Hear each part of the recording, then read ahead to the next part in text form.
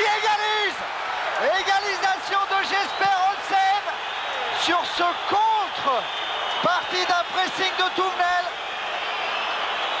2 à 2 entre l'OM et les Girondins de Bordeaux après un quart d'heure de jeu eh en seconde période. La voilà bien cette équipe euh, des Girondins de Bordeaux que Didier Cuecou souhaitait. Regardez, centre de Stopira et la défaut de marquage des Marseillais il y a une première reprise repoussée et ensuite Olsen qui peut remettre la tête.